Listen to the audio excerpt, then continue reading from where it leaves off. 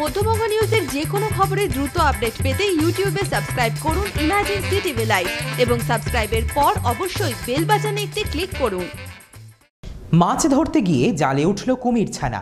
ঘটনাকে কেন্দ্র করে তীব্র আতঙ্ক ছড়ালো মুর্শিদাবাদের শামসেরগঞ্জ এলাকার ধানঘড়া ঘাট এলাকায়। যদি মধ্যবঙ্গ নিউজের এই খবরটি ভালো লেগে থাকে, তাহলে অবশ্যই একটি লাইক দেবেন এবং ইউটিউবে ইমার্জেন্সি টিভি চ্যানেলটি সাবস্ক্রাইব করবেন।